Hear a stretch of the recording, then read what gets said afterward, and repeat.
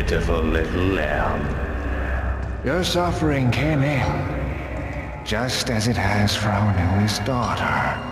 Who has joined us in communion, and now she is of our flesh, of our blood. My faithful disciple will show her the path. Go now. Deliver to these vagrant children their salvation. As you wish.